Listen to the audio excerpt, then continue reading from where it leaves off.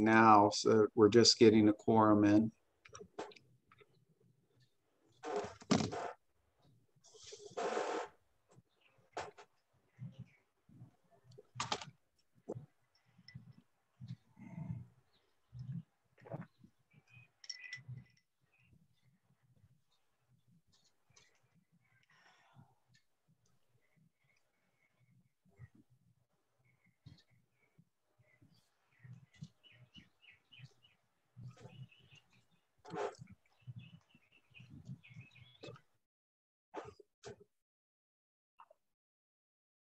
Thumbs up if you can hear me, Alex.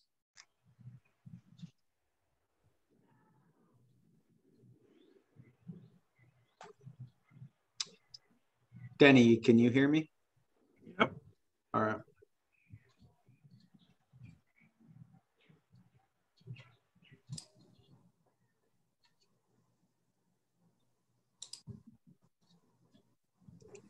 Comes Gail.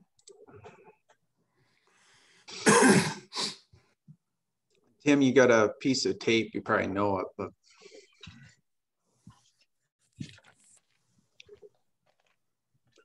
Evening, everyone.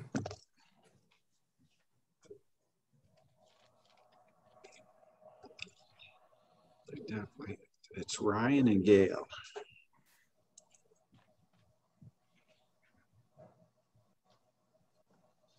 No, it's Ryan and Rick.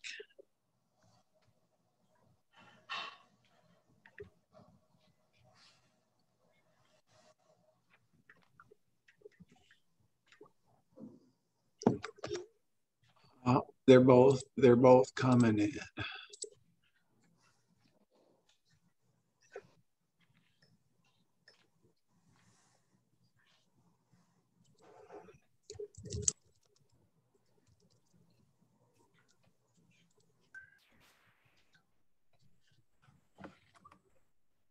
We do have, well,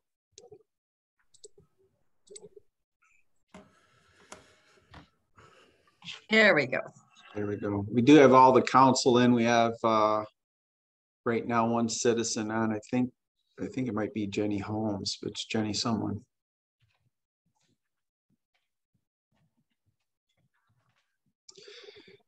Michelle's on vacation. She's out in Minnesota, so I know she will not be on. And I'm not sure if, uh, Randy will be on either. They've been working some late hours with this project.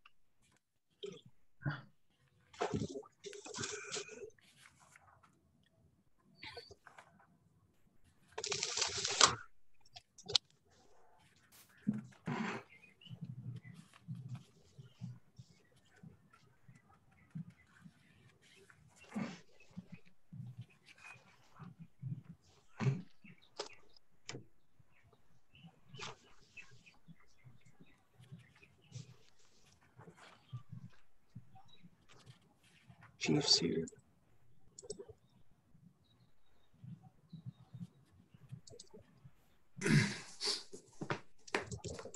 Hey, Jim, Yes, is this being recorded? yes, it is. Just wanted to share with council that I know tonight we're going to vote to extend um, remote council meetings through the end of August. Um, For those that don't know, I'm in healthcare. And I'll just let you know that realistically, if we follow the science, we're all going to be meeting come June. So just wanted to let you know that uh, I, I appreciate them going out till August, but there, we should actually. Should This, this, in- this, that conversation should take place in the discussion of when it comes up. Okay,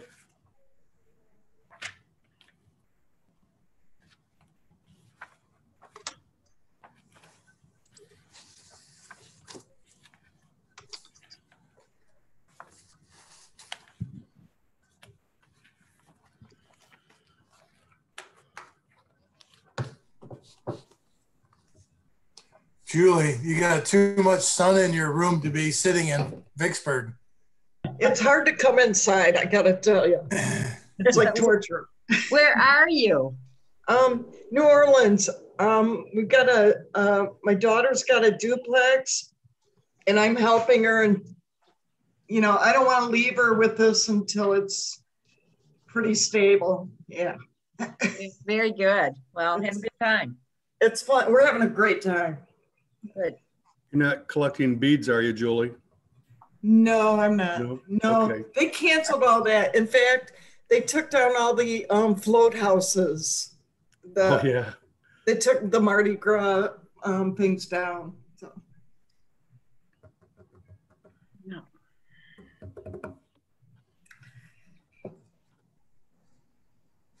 You know it's bad when that happens. Yeah, they didn't want people, I mean, they didn't mind people walking the sidewalks, but they didn't want the crowds 15 people deep. Yeah, Well, it is seven o'clock. Looks like we have everybody in attendance. I'll uh, go ahead and call to order tonight's Village Council regular session. Today, March 15, 2021. It's seven o'clock. So, Mr. Mallory, if you'd mind putting up the flag, and I'll uh, I'll lead this. I pledge allegiance allegiance to the flag of the United States of America America. and to the republic For for which it stands, stands, one nation, nation, indivisible, God, indivisible, liberty and justice for all. for liberty and justice for all. Oh, brother. You're a little fast, Ryan. I'm racing through. Yeah, that's my fault. Sorry, everybody. Well, thank you. Good evening. We'll uh, take a minute, moment of silence here, and then Jim, if you would, when you get ready, if you take roll call.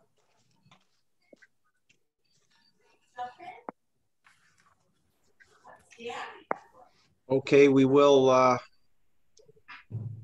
start roll call and um, if you are outside of the village of Vicksburg, if you can state where you are um, when we do the roll, roll call. Trustee Merrill, Out of town in New Orleans, Louisiana.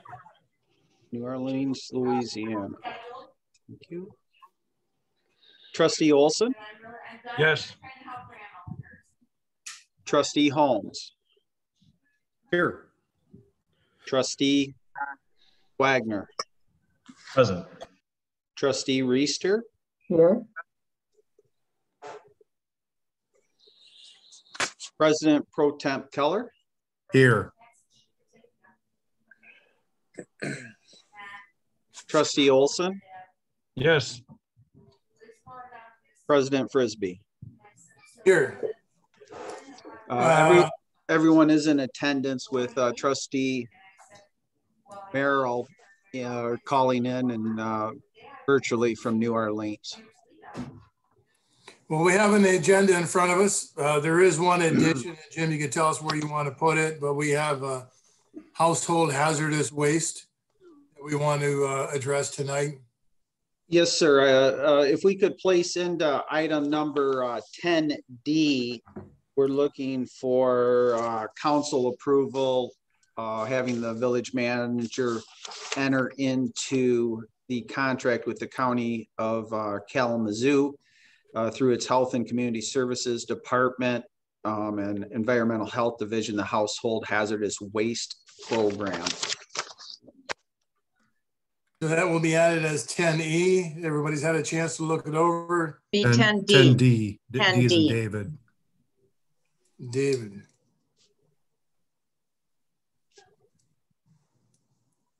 If all uh, looked in order, no other uh, changes, I entertain a motion to accept the agenda. Uh, Mr. President, uh, trustee Keller, I move that we approve the agenda as amended. Trustee Wagner, I'll support. Trustee uh, Keller makes a motion to approve the agenda with support from trustee Wagner. Hearing no further conversations, a roll call vote will be trustee Olson, Yes. trustee Reister, Yeah. trustee Holmes, Yes. trustee Wagner, Yes. trustee Merrill, Yes, President Pro Tem Keller, Yes, President Frisbee, Yes, and motion passes. motion passed. We have an agenda in front of us. I don't see that we have any scheduled appearances. Uh, No scheduled appearances and no uh, public official appearances or public officials on the call. There So are we'll open up this, excuse me, we'll open up this time for citizens' comments and agenda, non-agenda items. Please do, name and home address, limit it to four minutes. uh, we have, uh, uh, three citizens and, and actually four, one the press, Jeff. So, um, if we have one person calling in, so it's star six to indicate you wish to talk, we'll give a 30 seconds to a minute. And if you, uh, don't indicate you wish to talk during that time, we'll be, uh, moving forward. Uh, if you're on your computer, just move the cursor on your screen and at the bottom you'll see uh, it says raised hands you just click on that raised hand you'll have the opportunity to speak again um, think it's Mr. Steers is calling in he uh, knows how to uh, hit the star six so I'll give it a couple more seconds um, again if you don't indicate you wish to talk once we uh, continue on with the agenda we'll continue on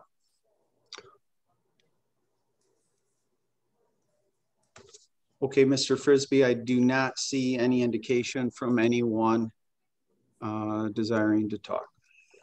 All right, so we have uh, approval of the general consent agenda, which includes the minutes from the last week, last um, general session, general council meeting, March 1st. We have warrant reports totaling a $178,974.73. Have event rental requests, a choice stock graduation party, May 29. Alicia Sprinkle grad party, May, uh, May 30th and Kurt Brown wedding at the Historic Village, uh, July 17th. So everyone had an opportunity to review the consent agenda and if there's any comments or clarifications. We're hearing now, none, will uh, entertain a motion of support. President Frisbee, trustee Wagner, I move that we approve the general consent agenda.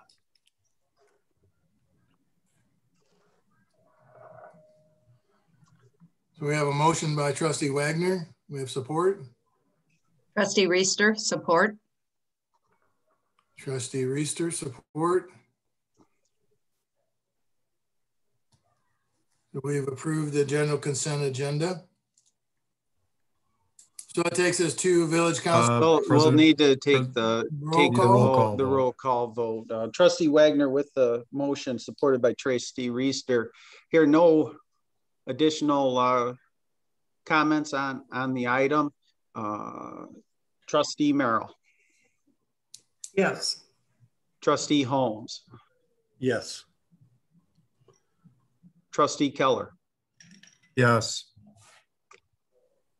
trustee Olson, Yes. trustee Wagner, Yes. trustee Reister, Yes. President Frisbee. Yes. Motion passes. So we have the uh, council item action items in front of us. First is a resolution declaring a local state of emergency for the purpose of permitting the village council and other public bodies of the village to meet by electronic and telephonic means. And I will uh, attempt to share the screen. I hope 2 here.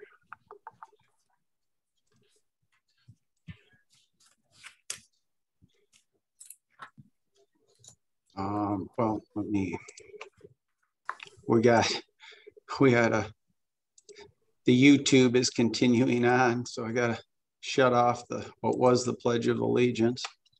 I don't know if I'm getting better at the Zoom stuff or not. You're better than I would be. Um, All right, let me, I'm hold.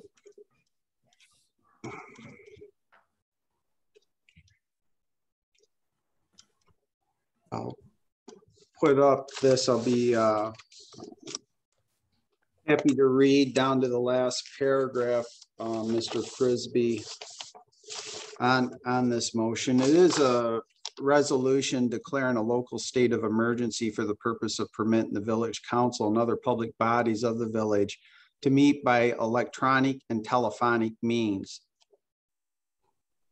The minutes of tonight's regular meeting of the village council, the village of Vicksburg, which is being held on March fifteenth, twenty twenty-one, and began at seven o'clock PM local time by electronic means. Present was a full member of the council, all seven members. No one was absent. Whereas as recently as March second, twenty twenty-one, the director of the Michigan Department of Health and Human Services made the following findings. The novel coronavirus, COVID-19, is a respiratory disease that can result in serious illness or death. It is caused by a new strain of coronavirus not previously identified in humans and easily spread from person to person. COVID-19 spreads through close human contact, even from individuals who may be asymptomatic. On March 10, 2020, MDHHS identified the first two presumptive positive cases of COVID-19 in Michigan. As of March 1, 2021, Michigan had seen 589,150 confirmed cases and 15,534 confirmed deaths attributed to COVID-19. Michigan was one of the states most heavily impacted by COVID-19 early in the pandemic, with new cases peaking at nearly 2,000 per day in late March.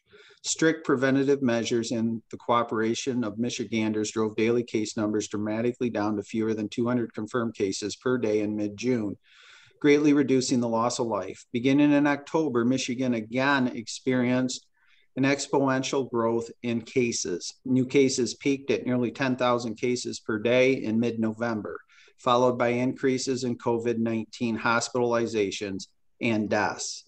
On November 15, 2020, MDHHS issued an order enacting protections to slow the high and rapidly increasing rate of spread of COVID 19. Cases, hospitalizations, and deaths remained high through early December threatening hospital and public health capacity. On December 7, 2020, December 18, 2020, and January 13, 2021, MDHHS issued orders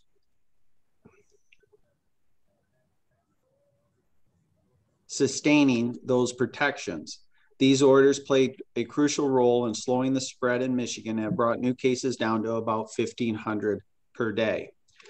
These lower, K, these lower rates prevented Michigan's healthcare system from being overwhelmed with a holiday surge. As of February 27th, the state of Michigan had a seven day average of 91.2 cases per million people, nearly 88% lower than the case rate in mid November. While that case rate is similar to the rate in early October, it has plateau, plateaued over the past week and remains three times the rate of the summer low point. Test positivity was 3.7% as of February 27th and has started to plateau as well. While metrics have decreased from all-time highs, further progress has tapered off and there is growing concern of another spike with the presence of more infectious variants in Michigan and the, in, and the United States as a whole. Even where COVID-19 does not result in death and where Michigan's emergency and hospital systems are not heavily burdened, the disease can cause great harm. Recent estimates suggest that one in 10 persons who suffer from COVID 19 will experience long term symptoms, referred to in quotes as long COVID, end the quotes. These symptoms, including fatigue, shortness of breath, joint pain, depression, and headache, can be disabling. They can last for months, and in some cases, arise unexpectedly in patients with few or no symptoms of COVID 19 at the time of diagnosis. COVID 19 has also been shown to damage the heart and kidneys. Furthermore, minority groups in Michigan have experienced a higher proportion of, in quotes, long COVID, end the quotes. The best way to prevent these complications is to prevent transmission of COVID 19. Since December 11, 2020, the Food and Drug Administration has granted emergency use authorizations to three vaccines to prevent COVID 19, providing a path to end the pan pandemic. Michigan is now partaking in the largest mass vaccination effort in modern history and is presently working toward vaccinating at least 70% of Michigan residents 16 years of age and older as quickly as possible. New and unexpected challenges continue to arise. In early December 2020, a variant of COVID-19 known as B117 was detected in the United Kingdom. This variant is roughly 50 to 70% more infectious than the more common strain. On January 16, 2021, this variant was detected in Michigan. It is anticipated that the variant, if it becomes widespread in the state, will significantly increase the rate of new cases. Currently, Michigan is second in the nation with respect to the number of B117 variants detected. To date, there are over 400 cases, and this is one fifth of all the cases identified in the United States. CDC modeling predicts B117 could become the predominant variant by the end of March.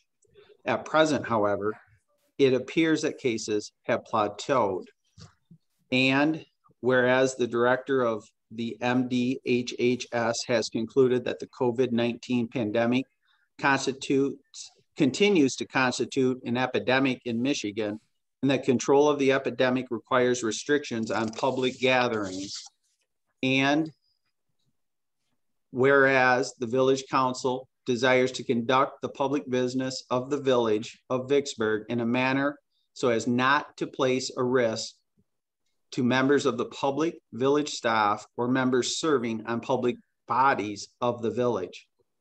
Now, therefore, it is resolved that pursuant to the authority contained at the General Law Village Act, Act 3 of 1985, Section 64.2 and 67.1C, the village president, duties as conservator of peace, Section 2, the president is a conservator of the peace and may exercise within the village the power to suppress disorder. The president may command the assistance of all able-bodied citizens to aid in the enforcement of the ordinance of the council in cases of emergency or disaster, subject to the applicable limitations of the state law authorizing municipalities to provide for the public health and safety of persons. Uh, section 3 of the Open Meetings Act, MCL 15.263, subparagraph, subparent 2 permitting a public body to meet by electronic or telephonic means upon declaration of a state of a local state of emergency or state of disaster if meeting in person would place at risk the personal health or safety of members of the public or members of the public body. And section 10 B of the Emergency Management Act permitting the village president to declare a local state of emergency. Turn it over to Mr. Frisbee.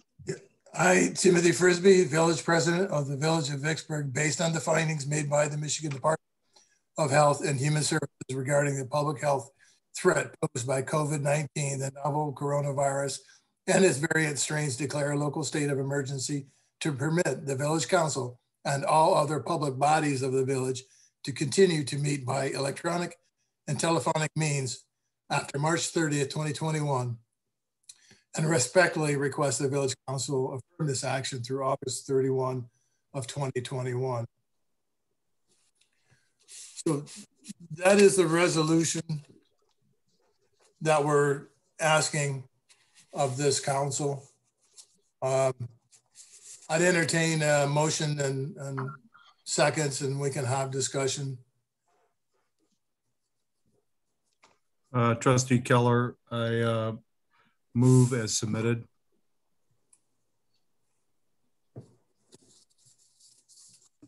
So President Frisbee, if a question, if I may, is this Well, resolution? We Just we need a second. support. Oh, I- Need All right, support I- I thought, all right. I'll support. Okay, we have Julie a, Merrill, support. okay, we have, have the motion was offered by President Pro Tem Keller, supported by trustee Merrill. And now uh, President Frisbee, if uh, wishes to entertain the conversation, go ahead. Yeah, let, let's definitely have a conversation about it. It's, uh, I'm not one to be a fear monger by any means, and I want this to be done and gone out of our lives as soon as possible. But what it does do, if, if the governor doesn't address this, it ends March 31st, right? So um, becoming um, April, we would have to meet in person in our facilities. uh, at, at the time, current time, just doesn't warrant us trying to spread out, um, you know, safely and, and, and, and conduct our business. Um, so going into the summer, I, you know, Jim with staff is going to be looking at some different facilities that we can have more room and entertain um, you know, a good amount of distance between us and, uh, and allow for the village residents to come. Um, and so, yeah, I, I, we just want to cover our basics and that's all we're asking. It doesn't mean that we as a village are going to not meet in person till August. We'll play it, make common sense decisions. Uh, but it does give us the ability to do that in case something pops up and the governor, you know, the, the our first meeting in April, the governor hasn't done anything, and here we are going to try to meet in, uh, you know, the ambulance and just pile in there like sardines. So it's just a precautionary measure. And so I'd love to hear um, any anyone's discussions at this point. So, Rick, I know you had some comments on it. No, Tim, I think you hit it because the way that I read, the way that I was reading it was that we were going through August with uh, electronic meetings, but the way you described it is that really it's up to um, staff and council as far as when we meet in person. Is that correct? Yes. Okay. Okay. Thank you. We, we can rescind this resolution before the August sunset date. We, we can, we can vote in June if things look really well. We, we can, we can rescind this resolution. We can put in a new resolution that we're going back to normal, normal meetings. Um, I, I think it just makes sense right now for us to do this and uh, to may, to maybe go, you know, say until August, but it doesn't mean that we have to stay with that. Like Carl said, we can rescind it. And so I think, I just think it's smart for us to do this. You know, last two years ago, we met at the pavilion outdoors. That was phenomenal. That, that may be an opportunity for us to open it back up and have a, you know, a celebration of life or, or whatever, you know, return to normal. And just get the community together there that we could plan. But it gives us the opportunity to actually look ahead to plan it and not have to be panicked about what we need to do next. So it's just foresight, forethinking, and, and how we operate our business. So Rick, you had a comment. I want to I want to hear you talk from a medical profession. You know what what you're hearing in, in your industry. Um, yeah, I appreciate that, Tim. It's, and I, I won't get too far into the weeds with everybody, but we all know that around the country, various states are taking different approaches towards this. Um, also, I don't know if uh, to what to what level. Um, I just saw this also today that the House of Representatives, 75% of our of the representatives, elected officials, are vaccinated. The other 25% aren't.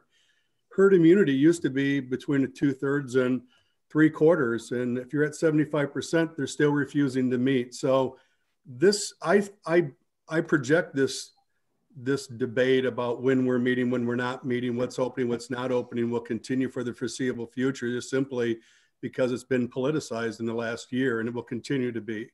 So I don't, the discussion's not right or left, Democratic, Republican. It's just simply, I think that the, the approach that we're taking is, is correct because we don't know how long this is going to go out. But if you were to ask me, um, you know, my humble opinion, I'm attending an in-person conference for the first time since March 10th of last year, and it's on April 14th. My company on in early April, all 10,000 employees across four corporate offices in LA, Chicago, and other, other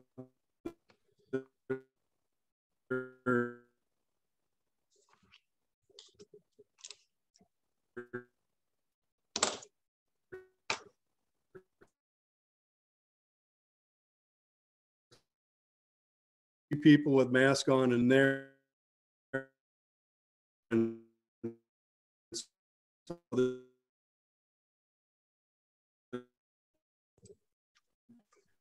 I also feel strongly that this is people's business and some we're really happy to see and staff. I think that also we have to err on the side of caution. So I would hate to see us all get together and have a whole group of people come together and all of a sudden have this huge problem. So I think for right now, what we're doing right now is the best. And and I'm hoping, Rick, that you're right, that by June, maybe we will be able to just meet in person. I hope that's true.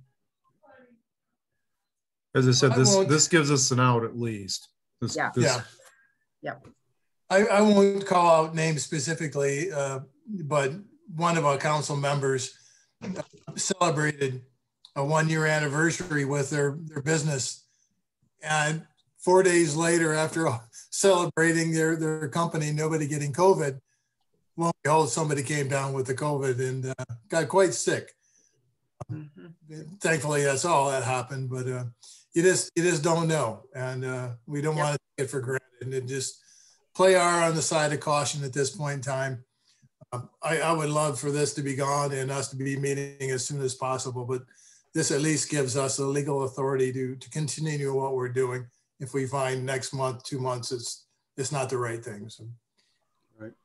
That's all. And, and as, as uh, Carl said, you know, we would have to take a resolution uh, rescinding this resolution. So we'd have to meet as a council and vote. Uh, so we'd and have to come up upon the next meeting. So hopefully things will radically change by then, but you never know. Um, President Frisbee, obviously we'll have staff keep monitoring the situation as well, correct? So that. Yes. Yes. I, I know they're in touch with the state and everything a lot more than we are, so they, I'm sure Jim has a, has an ear to what's going on in land.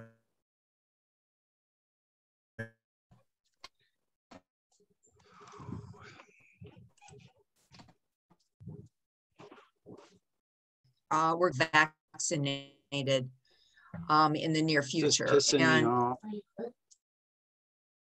for me, I feel more comfortable being around people. So, and I certainly would be, yeah, I would be horrified to give it to somebody else if I was like a carrier or something. So, um, but I think that as we get people more vaccinated, then we're going to all feel more comfortable getting. President Frisbee, Yes, Danny. um, a week ago yesterday, um, I was out at Paw Paw um, on business. Um, I got up early Sunday morning and Karen, my wife, uh, felt something was wrong with me. And she'd felt it for a day or so and she just couldn't put her finger on it. Uh, when I started getting dressed and trying to put socks on my books, she really knew something was wrong. So she insisted that I go to Bronson Emergency. And the first thing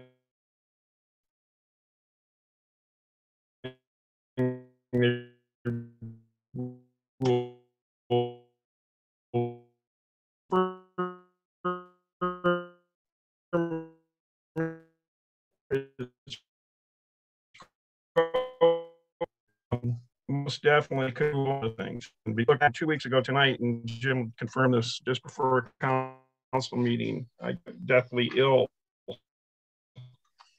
Just kind of blew it off. I'm one of those guys, you know, you can run me over the I'll get off. Um, I think just off was I mean, I had to pick up some some rare books and that, and I stepped out of the van and walked about 15 feet and walked and fell flat on my face. And this is where again they thought it might be a stroke, but ruled it out. Um, I got my business done, came home, and um, first thing I did was call Jim and inform him second person I called was Chief McMillan. If I go down and and something's wrong, I want them to know in advance what it's going to be. I called these guys before I even called my family. So um, Jim came over to the house, him and his lovely wife, and dropped off a big pot of soup. And as he left, I walked out on the front porch to pick it up, and guess what? Went flat down on my face again, and got wedged between a bench and the house now I know what a turtle feels like. So, uh, and it's not fun. Um, for the last week, I've been in quarantine, self quarantine, and I, they want me to be through the up through Friday. So, um, I think whatever I've had, I didn't haven't had it for a week. I think I've had it for two to three weeks, but for some reason I've been able to shake it off. Um, it, this is not fun. I swore up and down I would never get the shot. Guess what? As soon as I get clearance, I'm getting the shots. Bet. So, yeah, yeah, this is not fun. Um, just the thought of even having a stroke was bad enough. But um, this, yeah, I'm one of those people. Yeah, I'll wear the mask and I'll I'll do the social distancing and this and that. But you know, I got to live my life too. I got a business to run. My wife's got a business to run, and I'm going to do what it's going to take to to make sure that I keep going. So um, if you even think of anything, man, this you got to go get checked. So it doesn't take that long, but I tell you what, I do, I do not like to stick up the nose. Believe me, I don't know anybody. no, that, that's not. oh, that drives me. It's the first first five seconds that drives you nuts. Second five, that, that that's the nuts part. But yeah, it's um. Well, we're glad that you're doing better, Denny. Yeah, well, and I, the thing is, I'm keeping busy. I'm taking lots of naps. Well, I I I get tired. I get tired right now, and I grab the dog and go take a nap. So um, yeah. Denny, I'll share with you that I was able to schedule two COVID vaccinations um, just a, one, one on Wednesday morning at one or what after one and one in, at four in the afternoon.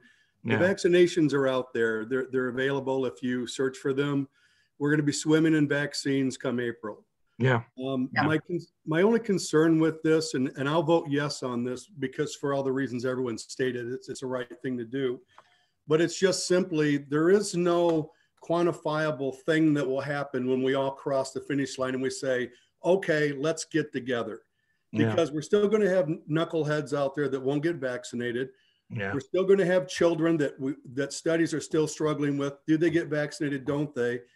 And so, I mean, we could be we could be strolling into next year, a year from now, with the same thing, and that's my only concern. But I believe enough in staff uh, the village manager and staff to realize they're good people and they're going to look at the data and the science. But I'm just sharing with fellow council members, this is not as easy as we think it's going to be just to rescind this because yeah. I can tell you for everything someone's going to bring to the table that says, hey, let's do this, there's probably going to be another person that's going to say, well, but over here, look at this data as well. And that's the unfortunate thing about this mess that we're in. Yeah. You remember when chicken pox was a thing to be afraid of, or AIDS, or yeah. And the thing I always remember, I heard a lecture one time. The guy says, "You know, this is bad. This is bad. This is bad. What's what's worse than this?" And you got to stop and think. Yeah, they're they're right, man. What you know, AIDS was bad enough, and yet we've we've got it to a point where we can control it we're, we're at the point where we're, we're working on controlling this. What's the next thing? Let's that's not even think about it, yeah, Danny. yeah, but that's, oh. yeah. It's, it's not going to go away. I mean, this no. is come, this is going to become something we deal with every. Right. Well, look at the like influenza. Look at, the flu. You know? Yeah, it's good. It's going to yeah. be like the influenza. I mean, you you still, but you don't hear about it like you used to. But the H1N1, the swine flu. Yeah person three years ago that got deathly sick from the swine flu. You know, it was not near as bad as this. So it's it's going to be something we're going to live with. We're going to have to deal with. But uh, yeah, just precautionary measures. This gives us the ability to to do it on our time frame. You know, well, Karen, Karen's already said she's going to wear a mask the rest of her life when she goes out in public. Doesn't matter what it is, whether it's flu or she'll or, get over that too. Yeah, I don't know. She's pretty stubborn. So.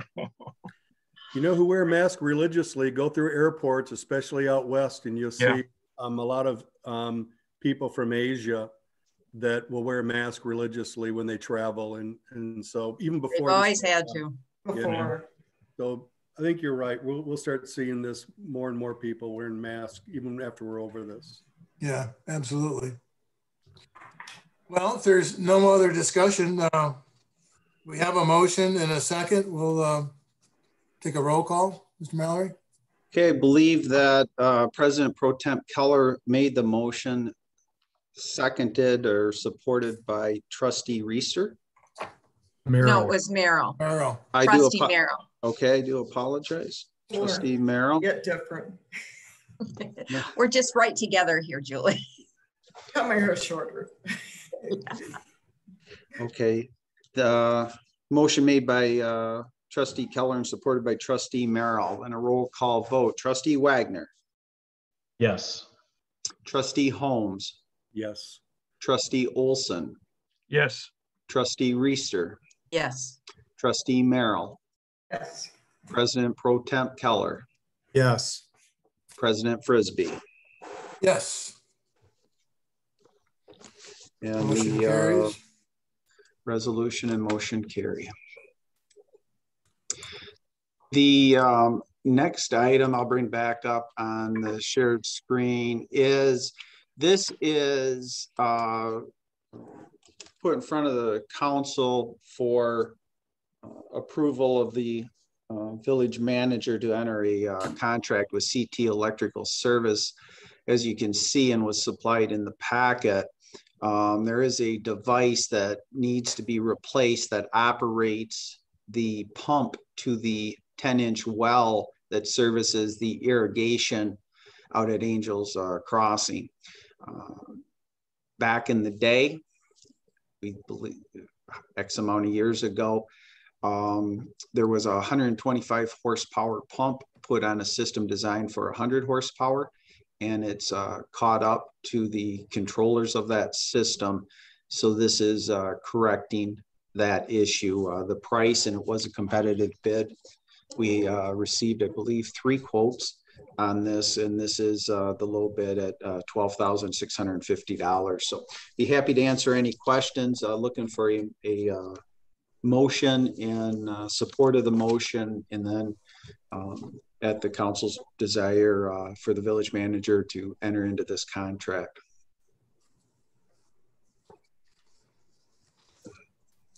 Yeah, Now, just as- one quick as question. You all 'cause- are, are seeing, we're having to pay for some ineptness, I believe, of some prior administrations, so to speak. Um, also was built as a private entity at, during, uh, initial construction.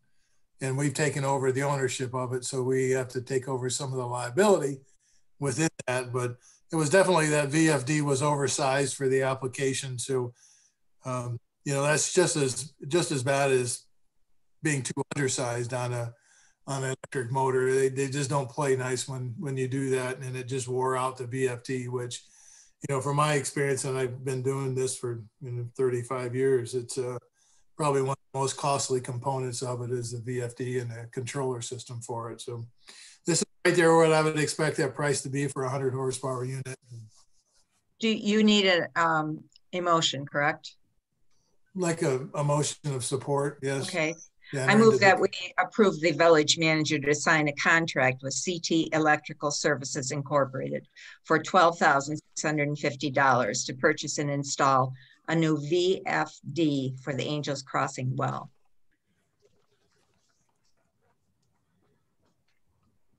Trustee Keller support. We have, Trustee Reister making the motion with support from trustee Keller. And I do have a quick question. Yes, trustee Wagner. Tim, if this is your area of expertise, could you give me a high level overview of what exactly a VFD is? it controls the speed of the uh, electric motor driving the pump. It, Okay. it plays, It- It's a, con- yeah, well, Carl will jump in, but it controls the flow, right? So if you've got, if the, the, it's got, I don't know how many zones out there for different fairways and areas, and you can run different zones at different times. So you can have four zones running at once, which needs X amount of flow, or you can run one zone at a time. So if you try running one zone with the, the amount of flow for four, you're, you're going to destroy the system. So you can control the flow by controlling the speed of the system to compensate for wherever you're running it. right. A- a Okay, V- so a VF, VFD is basically a variable frequency drive and it plays with, with, with the frequency, the, the electrical frequency of the motor. So it can ramp it up, ramp it down. Uh, when you turn the pump on, it can, it can set with an accel time. So you don't get water. It's called water hammer where it, you know, you get a, you get a bunch of water coming in. That's not good either. It can also decel. So you also don't get water hammer when you're, when you're shutting it off. So it's like a regulator? Is it like a regulator? Yeah, It's- Yeah, they used to, back in the, back years ago, they used to use belts and pulleys Oh, to, to, to change this, you know, the, the Yeah. speed of the motor. But it, it increases the efficiency of the motor. It increases, you know, um, it- it gives you the more bang for your buck, I guess. The, the other two items on there, the line reactor and the, and the, um, the surge suppressor, those are definitely needed. The line reactor cleans up the power coming into the VFD. Uh, VFDs don't like dirty power coming in. And the surge suppressor is definitely needed because if you have any spikes or anything on the electrical line, that'll damage because the VFD is electronics and, and spikes or surges will, will kill it. So, um, so everything that was on there was, is, is pretty much what you should have. So. That was the explanation I was looking for. I Thank appreciate you, it. So You got a pump guy Thank and you you got an very electric guy here. so- Yeah, I, that's- Yeah. I sell them, so I don't sell those, but I sell drives. So On, on, Thank you. uh, on a positive note, when we looked into this issue, um, we are changing the power uh, with consumers on that unit to off-peak rates as um, that operates predominantly in off-peak hours. So that was a positive discovery. So we will get appropriately the lower rates when that runs. So. Cool. Cool. Mr. Mallory, I, just two quick, quick questions. Um, so if I understand correctly, this is, we're not, we're not replacing the existing unit because it's gone bad. It's simply because we need a, a, a lower power VFD or has been described. Is that, is that correct? Well, uh, Randy might be able to help me. I don't know if, if it went bad. I was gonna lean to that it wasn't operating properly, but Randy, can you clarify that? The VFD is bad and, and does have to be replaced. Okay. And my second question is, is that because I'm not aware the golf course got any smaller, so why was a larger one being used? What was it, what- was the larger area that it was covering? Yeah, what, what the deal was, was, uh, years ago and, and it's, it is, it, it, I believe is either four or five years ago, I was the village manager, the pump went out. What happened was the company that, um, we were going to purchase a pump from, uh, gave a spare pump, which is in there, the 125 horse. They were going to rebuild the uh, pump that was with the unit. It was never rebuilt. They left the one in. Um, and uh, it's unclear to me. I, I, my memory doesn't have any of those details being brought to me. It was um, I guess I'll leave it as it, Renaissance Golf had nothing to do with it. It was prior to their arrival. So this has nothing to do with the possibility of um, citizens' lawns on the golf course being watered by, by Angels Crossing or, or no? No, it has nothing to do with that, and that practice ended a couple years ago. Okay, well, that- that, that's what I was looking for on the record because I do appreciate the work that you and others did to end that practice. And I just wasn't sure if the extra capacity in the line was simply to take care of those other people's lawns. And now we're obviously not doing it. Correct.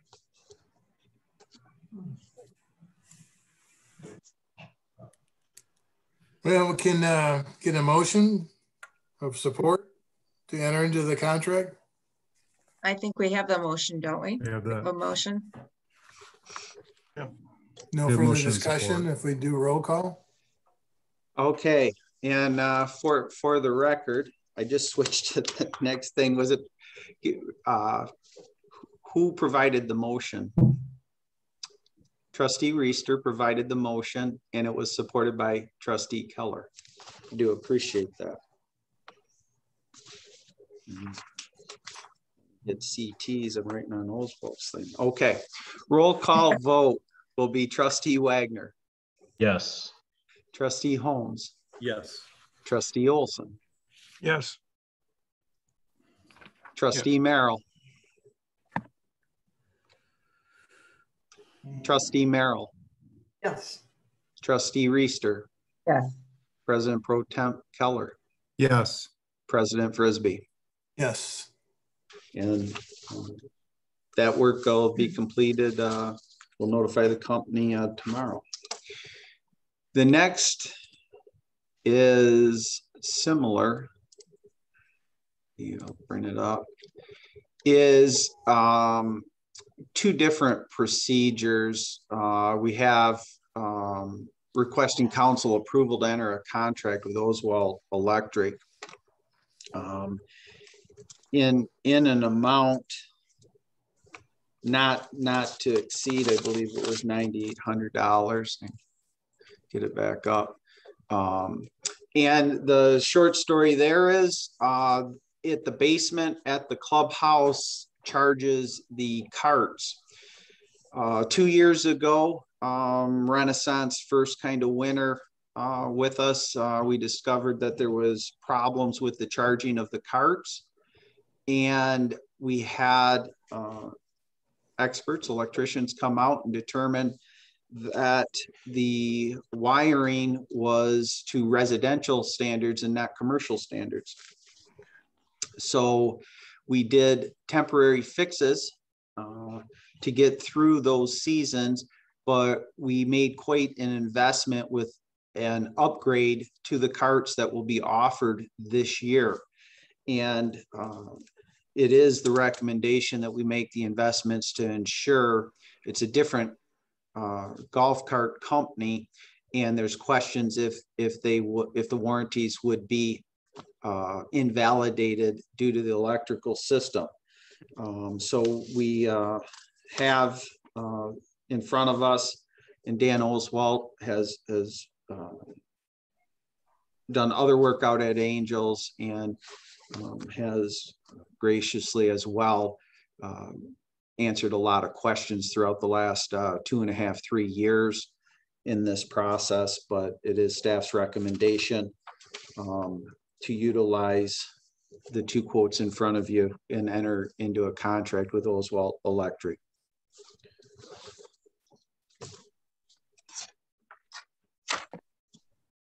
Yeah, this is, I recall when they first came on, we kind of modified that system to accommodate.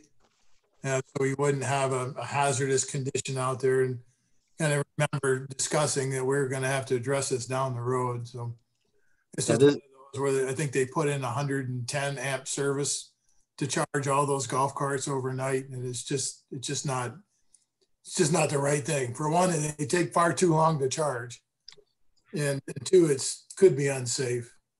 Cor- Correct. And the other, this will be a four hundred amp service, one box with all the appropriate brackets, new uh, wiring to the standards of the carts uh, as well. Um, and the other positive in this is it brings in an additional power source from consumers. And that power source again will be charged predominantly at the off-peak hours as those carts are charging overnight. Um, there'll be on a percentage level, probably less than ten percent. Uh, as the cars is operating, there'll be carts brought in to charge, especially on busy days, but but ninety percent plus of the charging will be in the off-peak hours. And we'll be able to have that registered with consumers in that manner as well. And just to clarify, I think I said ninety-eight hundred, it's actually a contract not to exceed ninety-nine hundred. Yeah, it's, it comes to ninety-eight sixty-six.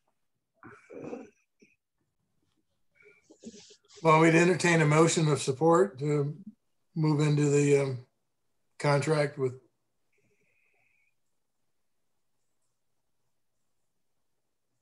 Trustee Wagner, I'll make the motion that we approve the village manager to sign a contract with electrical company to install the new commercial grade electric service to Angels Crossing basement that will properly charge the golf carts, amount not to exceed 9,900, utilizing the low bid process.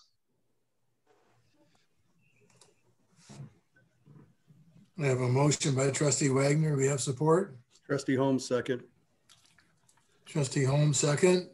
And I do want to clarify, um, the, we did receive only two quotes. Multiple contacts were made with, with uh, professionals in this area. Um, and I don't know, I think it's a sign of good times, how busy people are in the construction business. So I, this one meets our purchasing policy. Two, we have what I would describe as as a critical timing of this, as we'd like the work to be completed this week prior to the arrival of our fleet of carts here in the next 10 to 14 days. The other is on the two different quotes and um, uh, strategies in tackling this issue within our purchasing policy uh, we are far more comfortable with this quote. The other quote we did receive, uh, so it's clear to the council, it was lower, but would not perform in the long run in staff's evaluation as well as Renaissance evaluation and looking at everything. And that is why uh, I am recommending uh, to go with with the, the uh, program that that Dan Oswald put forward. And again, I'm it does meet our purchasing policy, and we do have that latitude. I like the idea of when we can dealing with local people. I like that idea very much. I see everybody's head nodding. So yes, absolutely. It was good to see Oswald Electric. Yeah. Um, President President Frisbee, I, I will uh, full disclosure to the council. I'll be abstaining on this vote as I was involved with Mr. Oswald in putting a proposal together for this project. So I, I'm, I'm familiar with it. Um, so um, I'm going to abstain on this. I, I, think it's important to note too that um, I personally, who who had this assignment, if you will, for staff and worked with uh, Tom Hand and, and Dave Mancini out at, at the course, um, did not have knowledge until uh, Carl and I had contact with each other. I think it was Friday or Saturday that Carl had even been involved in um, the quote with Oswald Electric, and not anything uh, at all against Carl, but it didn't even play into, nor would it ever into staff's consideration of which way to go. So um, I appreciate Carl bringing that forward. Um, but it didn't have bearing on why I'm recommending uh, to proceed the way I am. Thank you both. Okay. Um, President Frisbee side question. Jim, how soon are we looking to open the golf course this season? It's all weather related. It's strictly okay. weather related on the investment. And uh, so. I know some local courses have been on the news. They're already opening. I personally think it's too early, but well, think, yeah, uh, me too. Yeah. Well, I yeah. think we're going to get hit with a big uh, lot of rain before the end of the month. So, yeah, it's uh, um, I have uh, instructed Tom and Dave. They'll give me a heads up, but that it is solely there. I'm going to trust their expertise in the area, and it'll be their call. Uh, we do get inquiries and and you know, we can certainly appreciate and respect uh, lobbying that goes on, but uh, we'll open the course when it's best for the conditions of the course long term. I will, through this process, have learned, so I'll share. Um, it, eh, to winterize the golf course is anywhere from a ten to fifteen thousand dollar endeavor just to winterize it appropriately with the appropriate chemicals. So some citizens always ask me, you know, uh, we put up trespassing signs on the golf course, to not walk on the golf course, and that during the winter. It is not a public park, it's a golf course. And uh, we are investing, uh, like I said, in excess of $10,000 to keep that course in condition for when spring comes. So, so there's a rhyme and a reason um, we have those requests, no different than uh, the timing of the opening of it. Um, so. All right, with that, we have uh, trustee Wagner motion and trustee Holmes second to, can we do a roll call, please? Yes, we can. Trustee Reister. Yes. Trustee Merrill.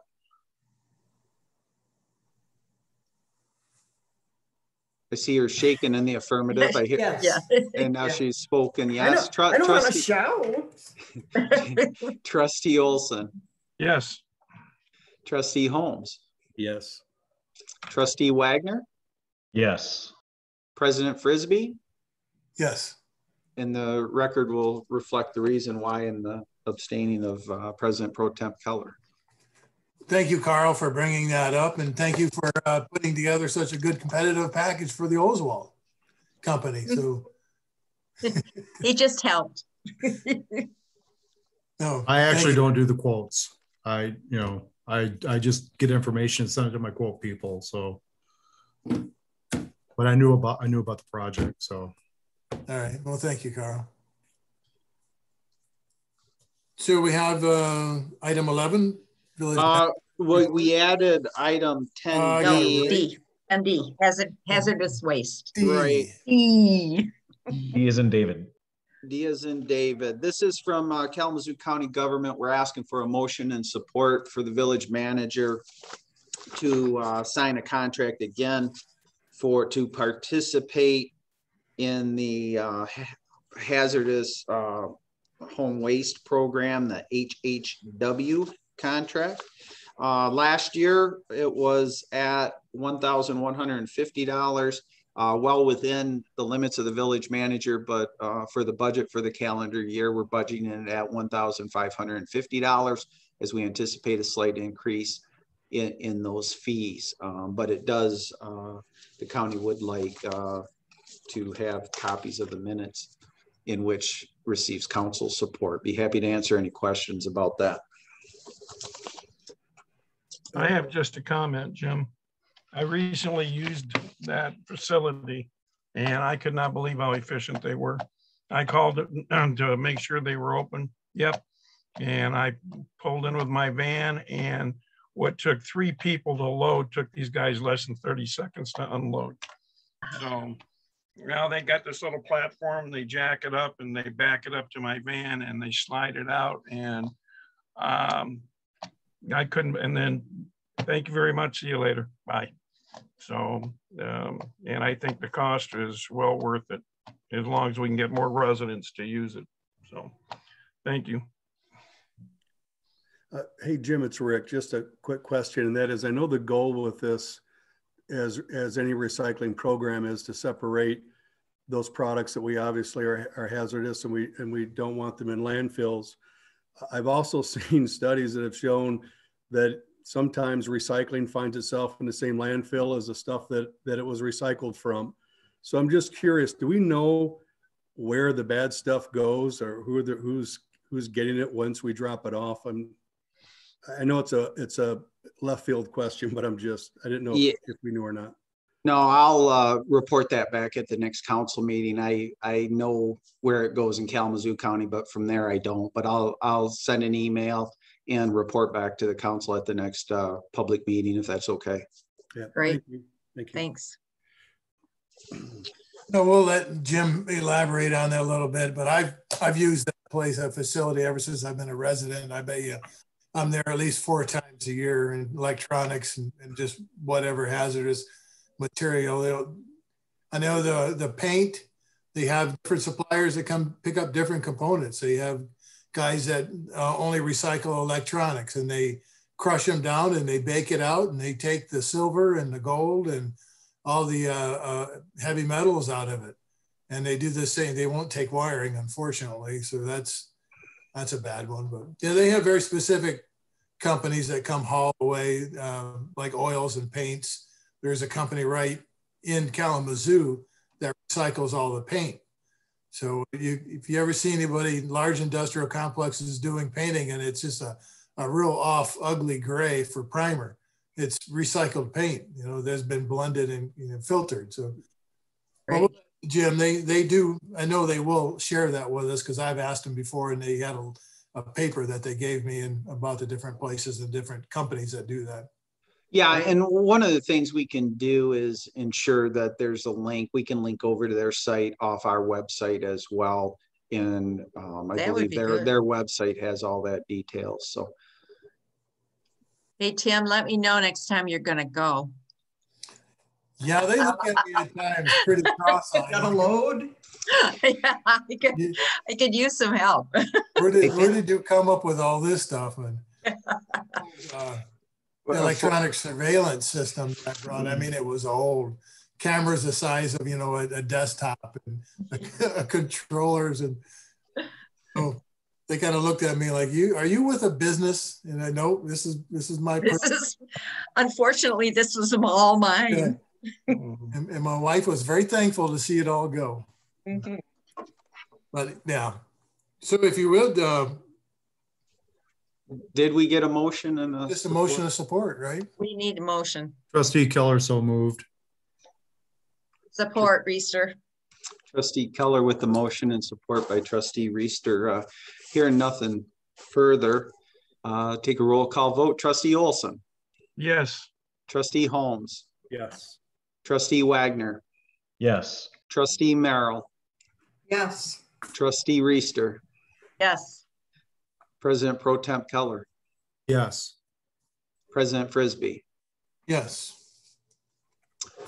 Fantastic. Motion passes. Appreciate it. And we'll let the Kalamazoo County know tomorrow. A Couple of things uh, as we get into the village manager's report. I certainly want to recognize and appreciate uh, Michelle Morgan, as I said at the start um, before the official start of the meeting. Michelle uh, is on vacation. I didn't expect her to log in, but she is logged in from the great state of Minnesota, but she is on her vacation. So I want to extend that appreciation and gratitude to her um, across one of the big ponds of Michigan. I hear her talking or I see her talking, but I don't hear it. Does anyone else? No. I think she's heard us though. And the other thing is when I said, uh, we'll go ahead and link that website to our website, I just want everyone to realize, I think even though it's Monday, that's about the fourth time I've said that to Alex, to our Alex, a deemed esteemed IT person, Alex Lay. Let's put that up on the web. Get that up on the website. We can have that up on the website by the end of the day, can't we? So in front of everyone, Alex, I'll apologize if we can't, but we'd sure appreciate that link being on the website at some point. So, Um, an update on the infrastructure project. I I, just want to inform the council and, and, and our public to start with. Been a lot of social media talk. Uh, we obviously live in a world of social media. We've all been witness to it. Uh, and I believe the, it would play out quite often. Uh, people tend to be very critical, judgmental, and sometimes even personal on uh, social media, which it, it you know it's a right. Fully believe in the First Amendment and people's opinions, but wanted to clarify the subject of trees. It certainly has been prominent in some local Facebook posts reference the trees coming downtown, down in our downtown. Uh, we have uh, been very open in, uh, uh, I think, um, even as recent as January in our meetings and on social media, talked about this fact. The trees had to come down due to the scope of the infrastructure project. Once this project gets downtown, the all of the sidewalks eventually are going to be dug up and and and those trees appropriately had to come down before April 1st. On a positive note, there are going to be trees downtown. In, in, in a downtown that is uh, going to be as progressive as any small village downtown is currently. And we believe firmly that the research that we, we have been involved in over the last three or four years, uh, the investment that we're making in our streetscapes will be significant in the long-term vitality of this village. Uh, so I just wanted to inform everyone of that. Um, I, I, I uh, respect um, people's viewpoints and opinions. Uh, we've done our best to communicate, but there seems to always be some of those uh, that that we don't reach, and we'll continue to strive um, in getting better. But on the subject of trees, uh, the, every tree that came down was connected to the infrastructure project.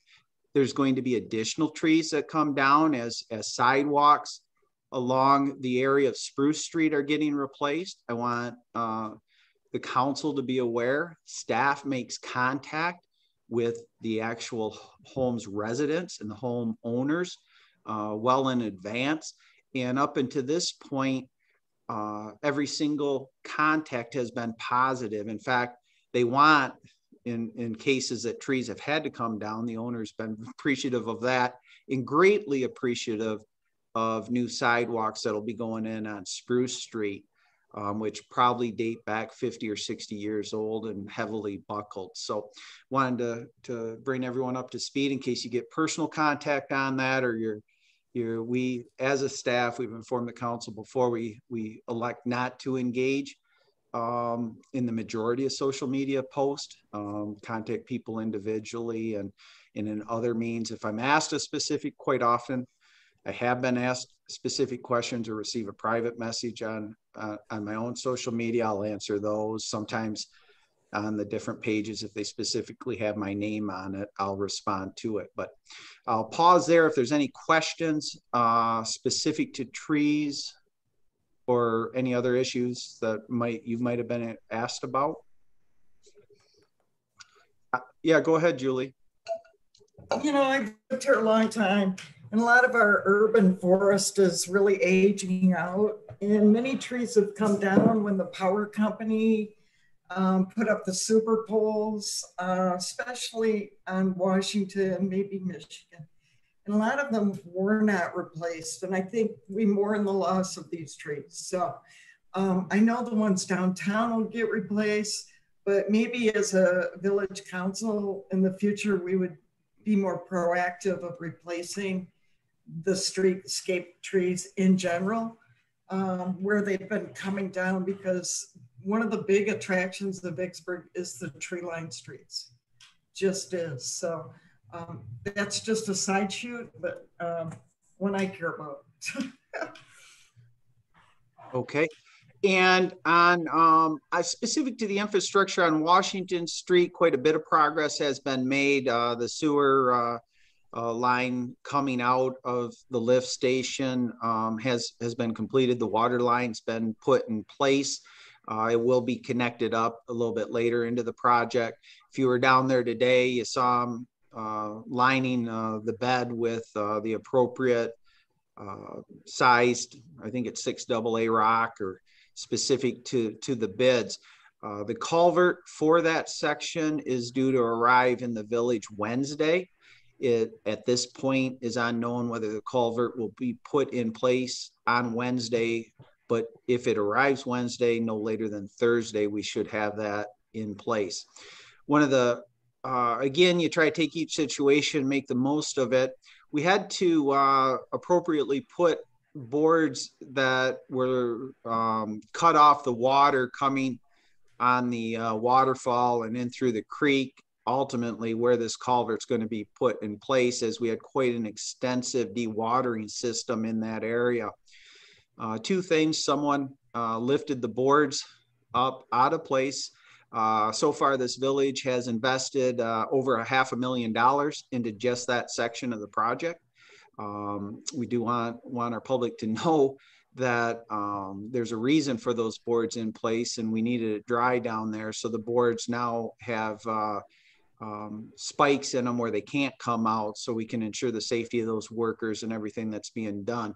It'll go, we will return it once we can. Uh, on a positive note, the uh, DPW gets an opportunity to to address some of, of the things they've been wanting to in the creek area, and you'll see that this week. Over on uh, Spruce Street, we have the sewer pipe underneath the railroad. It's been uh, very impressive process. I've never seen that before. Uh, and what I wanted to highlight on, on Spruce Street is the project um, has also placed the appropriate water uh, pipe that underneath the tracks. So the village uh, will not have to go through that permitting process before our water prior to that stopped at the track. So we also made that investment into our future down there. Uh, there really, there's been, we anticipate, it's interesting talking to to the crew at Millbacher and and the the foremans and superintendents that are in a lot of small communities throughout their career. Uh, we have had to uh, add new valves to shut water off, uh, replace others. Um, and we we anticipated that when you start to dig into a, a, town with aging infrastructure but our goal will always be to be able to have the ability if we have an issue in the future to shut down the smallest section of town that we can. So where in some aspects, uh, some areas of the town, you know, might be an eighth of the town or a quarter, we're really trying it as we go through this project to enable us to shut it block by block down. And Randy and his crew have been right on top of things, and I do appreciate them. Uh, they've worked longer hours and extra hours uh, but staying on top of it. So just wanted to update that the project is on time. We have a uh, Randy, Randy's out there all the time. I go every morning and afternoon. Uh, if something comes up, Randy will get a hold of me if I need to know about it. Uh, I, I, I, did get a green hard hat today. Uh, so thank you out to Denise Harold. I, and I have a reflective vest. So I guess I'm all, all set to go. Um, not giving up snow plowing yet, but. We'll, I hope you are because I hope it doesn't snow anymore. Amen. yes. So I'll be happy to answer any any questions. Um, we are again uh, posting a couple times a week on our social media. We encourage our, our public to to sign up for social media if they're not on that. They can go to our website and it's easily discoverable where they can plug in an email address and anything that we post is emailed out as well. So we certainly want to reach the masses um, on the communication effort. Mr. Mallory, it's Trustee Holmes. Just a quick question regarding 22nd Street. Is there any additional work that's being scheduled out out on that project that was finished up in the fall? Yeah, yeah. Well, yes, because it, it, there's um, both the side um, on the west side of the street, there's a sidewalk bike path that will be put back to to uh, well to be new because it has to be put back and it was all torn out. There's a yard up in uh, Centennial neighborhood that we have to put to back together as well as um, some other uh, work that that'll need to be done. Um, there is uh, discussion right now um, in, in an easement of the village, uh, irrigation should not be put in in an easement. Um, so there is some irrigation that was impacted uh, that I guess was in the easement. And we have a follow-up meeting next Tuesday so I can learn the specifics and the different options there.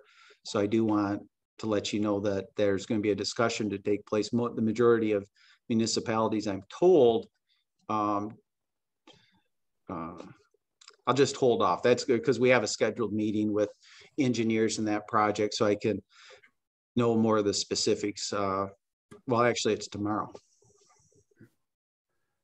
Thank you.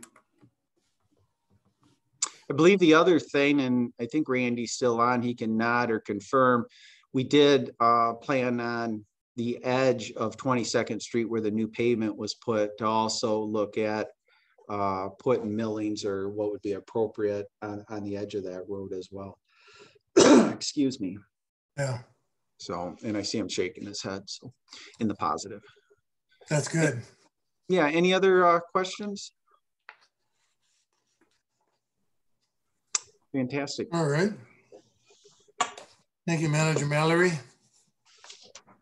So we, I don't think we have any committee reports. I ask you all, Jim had sent out the minutes from the uh, Sewer Water Authority from the last uh, meeting. And uh, please review those. If you have any comments or questions, you know, bring it up at the next meeting or reach out to Mr. Mallory. Um, you know, I know we missed the last one, so that, that's got some good in, insight for all of us to, uh, to read. Uh, with that, we'll jump over to trustees time. And uh, we'll start out with trustee Merrill. Um, I miss, I miss you guys. Um, it's, it's going well here and I'll be back in April. So, uh, I, I get to observe how they do things here and it makes me think of how we do things there. So Yeah. it's just interesting. We'll see. Have a great Reese? time, Julie. Um, no, I'm, I'm, I'm good. Trustee Holmes.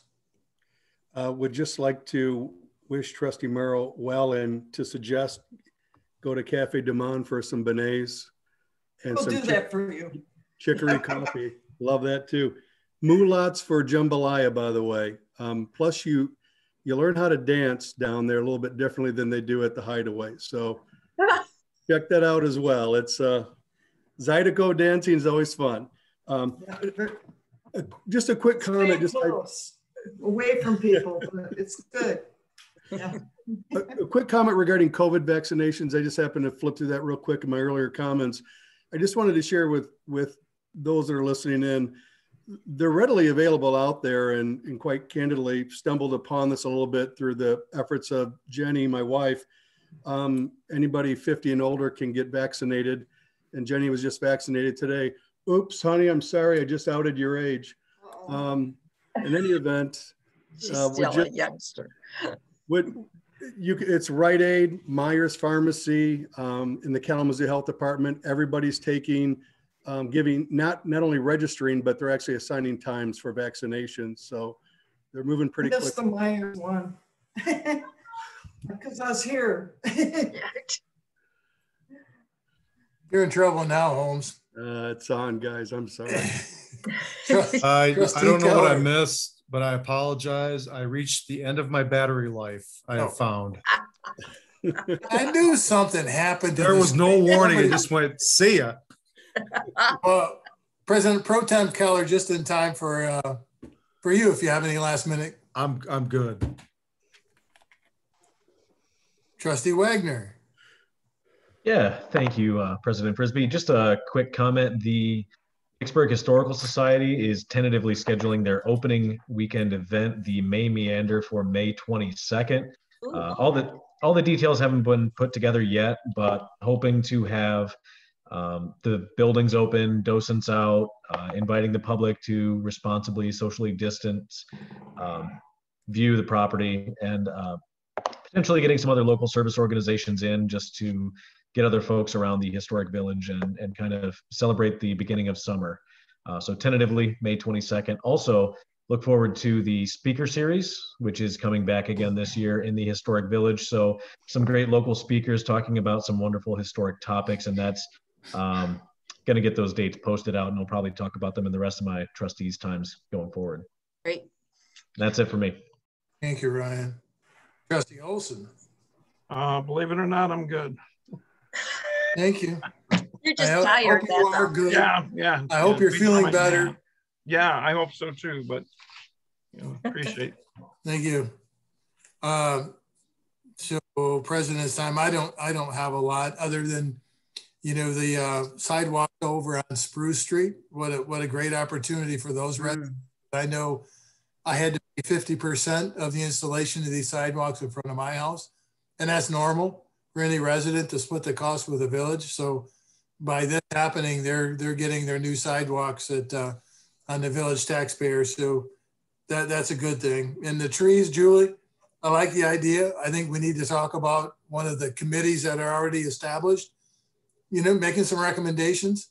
Uh, I know 20 years ago, somebody had the great idea and they went through the village and put in a lot of trees, but I don't think they had the foresight because they were stuck underneath power lines. Yeah. Some of the oddest places. It's like, uh, you know, we, need to go about it methodically and, and have somebody with some training, you know, uh, look at us. But it's a good idea. I, you know, Too.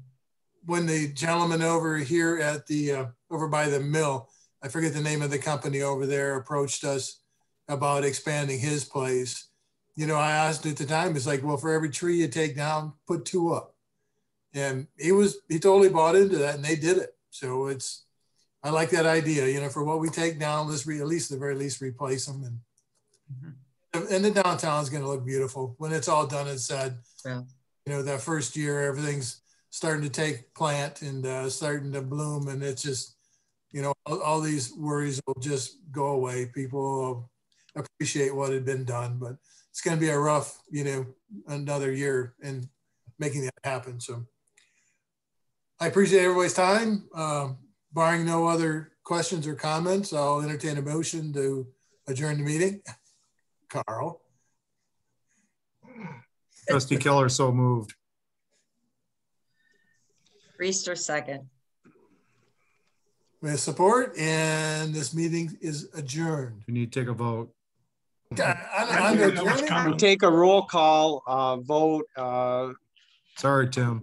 Eh, but we can still take a roll call vote, uh, by signifying aye. All those in favor of adjourning the meeting, say aye. Aye. All those opposed?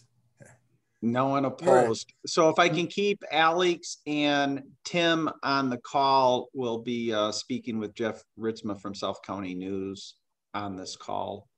Um, But All the right. official meeting has, has, has unanimously been declared uh, done. Have a Thank you good all. evening, everybody. Thank you, Get everyone. better, get better, Denny. Thank you.